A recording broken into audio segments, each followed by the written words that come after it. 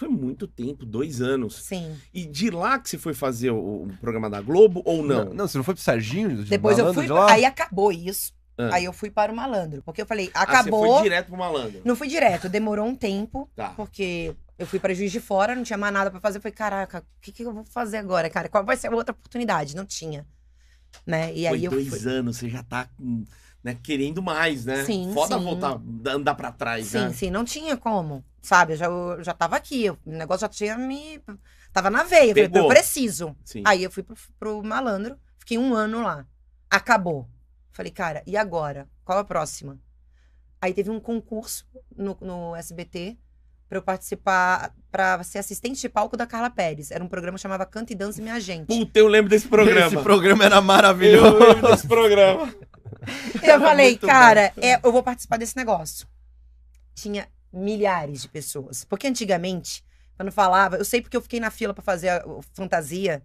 E eu Puta, falei, Fantasia. eu vou levantar às três, cinco horas eu tô na fila, ninguém vai estar. Na hora que eu virei a Taliba, Leon... a Taliba Leonel, tinha. Ma- Mas assim, Nossa. Era isso. De... Duvido. Eu falei, fodeu. Fila do Justin Bieber, assim. É. Porra, mas Tá calma aí. O- quando você fez o programa do malandro, primeiro, duas coisas, né? Primeiro, como é que Várias você coisas. aguentou o malandro? É, primeiro, O você não malandro deu uma voadora para, nele? Meu Deus do céu, cara. O Sérgio. Ah. Vou até comer. Jesus, o Sérgio Ah, eu Malandro. colocava algum negócio na bebida desse velho. Pô, ele precisa de Rivotril, é, cara. botar que muito acalmar o velho. Rivotril. É muita, meu Deus do Pô, dá céu. dor de cabeça, não dá. Ele é legal de longe, assim? Eu não... Ah, ele é legal. É, Ah, sim. Ele é legal dormindo. Tá, Mano, hora Ele é do muito capeta agitado. não era hora do capeta à toa, velho. tá. Não é, não colocaram aquele nome do nada, hora do capeta. É, o cara é um fazia jus, fazia jus. Bom, então você aguentou o cara um É. ano, só que lá foi o programa que, assim, você ficou muito famosa lá no Festa do Ué. Malandro. É, Hum. que, contanto que até hoje falam a ex-malandrinha, É, sabe? Tipo, é, olha o tanto de coisa que você porra. fez, sabe? Virou tipo um ex-BBB na sua vida, sei lá, tá ligado? Tipo, falam muito. ah, até quando depois saiu os filmes, falava o filme da ex-malandrinha. Falavam mesmo. Porra! Ah, porra. Verdade. puta, Fala gente, que eu é ex-dentista, ex-protética.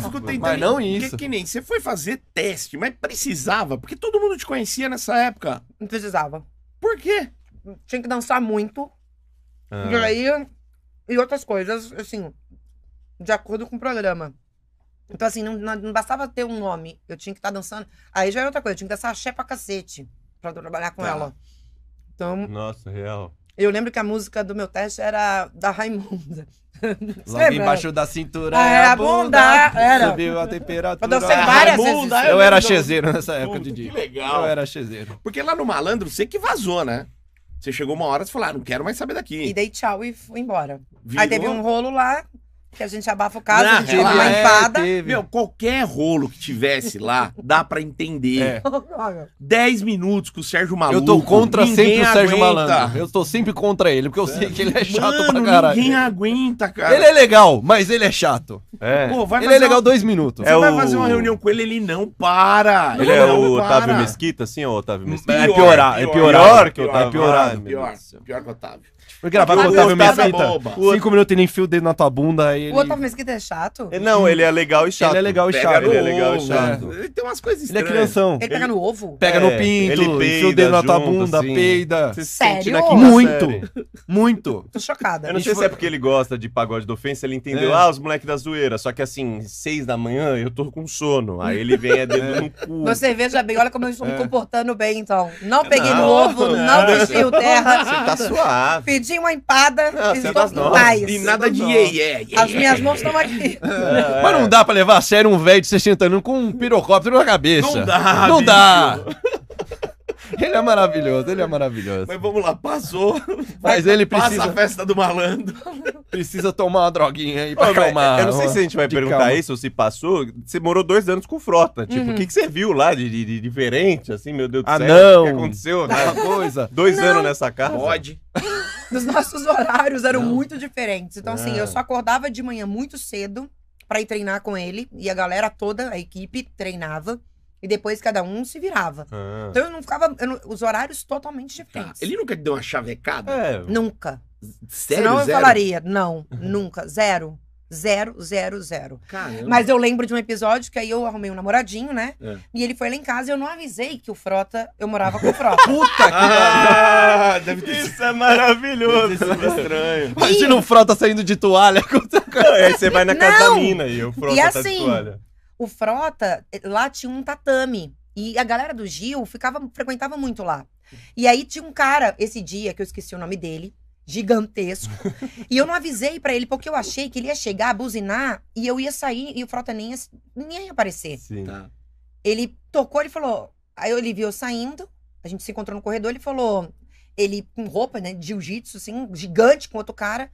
Ele falou: Quem tá aí? Eu falei: É um, é um namoradinho, né? Mas eu já tô indo, tu fica tranquilo, vai fazendo suas coisas aí, porque eu sabia que o cara ia cagar na calça. É. Quando ele foi, ele falou: Então você espera um pouquinho aí que a gente vai receber ele. Lógico, velho. Você não tá entendendo? Maravilhoso. Muito bom. o cara mano. se cagou. Ele. Eu, eu lembro de ser, assim, porque o cara ficou desse tamanho, assim. Na hora que ele. Eu vejo ele pela, pela janela, assim, da cozinha, assim, tava olhando. Na hora que saiu frota. E esse cara, ele, ele vai. Ele fica assim, ó. Ele fala, cara. ele- deu pra ver a alma dele, sabe? É. Sai um rinoceronte da casa, você vai pensar o quê? E aí ele me chama e ele fala. Nossa irmã, tá? Nossa. Qualquer merda que acontecer. Lógico que não ia acontecer nada, mas É. Tu tá fudido, irmão. eu entrei dentro do carro, assim. Eu falei, não fala nada, não fala nada. Só era da. Irapuã, só. Só. E aí ele, que isso, cara? Porque você não me falou. Eu falei, é porque.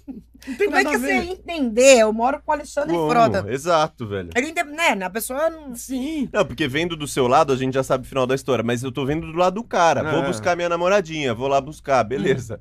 Saiu frota, É. velho. E um cara enorme Mano. de jiu-jitsu. Ia dar uma diarreia boa, velho. Mano, Ia. como? Ele nunca mais voltou, esse cara, né? A gente namorou quatro anos. Oh, te lá. amava muito, hein? Ou era muito gostava. fã do Frota, Ah, né? é verdade. Queria aquela proximidade. Bacana. Aí você passou no programa da Carla. Isso. Foi pra lá. E como é que foi essa experiência? Maravilhosa. Sério? Nossa, amava. Eu amava, amava, amava. Eu adorava tudo aquilo. Pra mim, tudo era mágico demais. Porque aí eu voltei lá atrás, assim. Eu falei, porra, pra quem queria participar do concurso, pra Sim. substituir a Carla, hoje eu tô trabalhando do lado dela. Então minha cabeça foi, não, que de- E, e foi o primeiro programa que você fez no SBT, né? foi o primeiro programa que eu fiz no que aí SBT. o SBT é maravilhoso. Não, e na né? época a SBT Legal. era a 02, né? Só era atrás da Sim. Globo, gigante. Isso. E, e batia pau a pau Não, esse programa, o programa dela, assim, era, a audiência era gigantérrima, porque, tipo, muito, programa musical, Sim. era divertido, ela apresentando, então, assim, era muito legal isso. Era sábado à tarde? Era sábado à tarde. Eu Você assistia, Eu era né? muito te- televisão. Televisivo. Televisivo. É, Eu gostava, eu era o jacaré É. branco de, de- na época. Olha! que coisa Jacaré Gaúcho. linda. e o que, que, que aconteceu de bacana nesse programa que você lembra, assim? Alguma história interessante, curiosa? Primeiro, esse foi o que tinha várias meninas pra entrarem, né? Isso, E, é. é- e você foi a ganhadora. Ah, é? Como Você é que ganhou. tinha, era pra- eram 10 meninas. Então, Sim. a gente apresentava, nós apresentávamos um quadro que eram as 10 músicas mais tocadas na rádio durante a semana. Hum. Tá. Então, assim, tinha a número um sempre, ela era sempre a número um. E a gente ficava transitando. Mas, assim, sempre me colocavam pra dançar as mais agitadas, porque eu não- nunca fui muito boa de ficar. Apesar de ter feito balé, eu não, Ah, tá. eu não, eu não passava essa credibilidade. Tá. então, eu sempre era no funk, eu achei a coisa mais agitada. Então, tinha esse, esse quadro. E era muito bacana isso, assim, né, pra, pra gente e tal. Então, assim, tinha, eu lembro que eles fizeram, promoveram um concurso e o fã é, mandava cartas naquela época. E aí escolhia a menina que ele queria, que o SBT ia pagar um jantar no, no Terraço Itália, Ah, com o SBT filmando. E aí eu fui escolhida. E eu sempre, né, toda. ah, e o cara, eu não tinha o que fazer, porque o Nossa. cara tava filmando, né? Sim. E não, não conseguia dialogar com Você o cara. tentava fazer render com Isso. o cara. O cara travado. Ele não travado. conseguiu. Eu, eu- É. Isso aqui dele fez, né? E eu falei, "Caralho, Sim. coitado. A gente sabe como é. Às vezes vem umas convidadas que a gente tenta arrancar coisa Não e vai, não não sai. vai. Ah, meu Deus. Então, assim, tinha. Foi um momento, assim, também muito legal. Pra mim, que eu conheci muitos artistas e eu gostava de dançar pra caramba. sim. Então, foi um momento muito bacana. E, o- e o Silvion apareceu em algum momento? O Silvion, nessa época? Então, aí daí eu comecei a participar de tudo e foi assim Hum. que eu fiquei tô, há 25 anos na mesma, no mesmo lugar. Não né? saiu mais. Não. O Aí, canto e dança era meio que o fantasia da Carla? Cara, não, era tinha, um... não, é- tinha o Fantasia é. também. Mas Tá. era, era um programa de dança, é como se É. fosse aquele, aquele canal de dança que tem que é muito famoso. Ai, hoje que tem, puta, sei lá, tipo Daniel Saboia e tem um outro lá. Top Não, mano, era um programa de dança, velho. Era Ah, só dança, fit só dança. Fit dance. Era tipo um Isso. fit Ah, dance dos anos tá, 90, tá. assim, sabe? Você tinha, tinha concurso de dança e tal. E, E eram as bem músicas mais assim. tocadas. Eu lembro das 10 Isso. mais tocadas. E elas- Tinha- Era divertido. É. Ah, legal isso Era daí, bem mas eu divertido. não lembro, cara. É que eu adoro os formatos de TV, são os melhores. Ela tá falando das coisas que ela participou, nossa, tipo assim, Sérgio Malandro, programa com a Carla, tá ligado? Imagina, velho. é- O Sérgio Malandro chegou a pegar em primeiro, não, não, não dava uns ibope pesadaço. Primeiro lugar. Sim. Era. Por uma coisa muito difícil naquela época. E era sábado à noite. Era sábado à noite. Não era Muito Gazeta? Como é que era? É Era Gazeta, CNT, depois foi pra Gazeta. Gazeta. CNT Gazeta, que doido. Você pensar o Sérgio Malandro em primeiro, num Sim. programa no prime time, velho. É, E com muito conteúdo da parte dele que era só. Ai, ai, ai, pegadinha! Dança, Maravilhoso. dança. Isso que é bom, Didi. Eu, eu queria perguntar, é do primeiro, seu primeiro encontro com o Silvio Santos, assim, rolou? De- Rolou. de- como é que foi, assim? Eu fiquei hum, Nossa. uma idiota. É, mano. Eu fiquei em estado de choque, como todas as vezes, assim. Todas as vezes que eu participei do- da, da programação dele, Sim. eu fiquei. pra- é, porque ele é muito legal, ele recebe os- ele vai no camarim pra receber os convidados. Ai, que legal. E ele explica a brincadeira, ele fala: vamos ficar todo mundo. Quero que vocês se divirtam e tal, pra, pra ficar bem legal pra quem tá assistindo. Ele fica falando isso e você fica. Eu ficava. Hipnotizado. Eu tentava disfarçar, era pior. Eu É. falei, nossa, eu só quero lembrar meu nome na hora que ele falar Sim. comigo, pelo amor de Deus. Então eu errava tudo, mas, né, tua família xinga. Pô, você errou essa brincadeira, não é possível, você é burra. Eu falei, gente, você ficar de frente com ele é, É. uma coisa. É muito mágico. Não é fácil, né? Não, é muito mágico. Ele pergunta dez vezes a mesma coisa mesmo, daquele. "Mas você é Não, todas as fulana?" vezes que eu fui no programa dele, ele falou, mas você quem é mesmo? É, eu, é, é- Ah, eu adoro isso! eu sou a Vivi. Ele é muito esperto. né? Ah, você é aquela que faz as câmeras escondidas. Ele Isso! sabe, ele sabe. Sim. É, ju- você é de juiz de fora? é, mas de onde que você é mesmo? É juiz de fora, Mas né? quem é você? Isso é ótimo, faz parte do negócio. Você fica com aquela É. cara mais ainda, né? É pra reforçar, né? Sim, é legal. E é ele muito fora, fora do ar é mais ou menos o mesmo esquema, assim, tipo. Sim, é, é jeito, uma, né? é uma figura incrível. É muito. Quando ele, eu, eu lembro de vários momentos dele chegando, parando o carro, e fica todo mundo no SBT assim, olhando, né?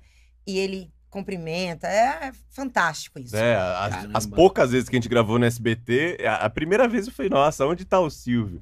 Aí a segunda, será que ele- a terceira eu falar, ele não vai aparecer Não, pra não nós, aparece, não né? aparece. É, uma- é um enigma, assim, né? Uma É. coisa de repente. E aí se ele aparece, imagina, a hora que ele É. aparece. Ah, não, você vai gaguejar, cara. Cara, você. Você tem pra falar pro Silvio Santos? Nada, Não. obrigado. Não, cara. Ele perguntava as coisas e você não pode ficar enrola- enrolando muito, senão ele te corta.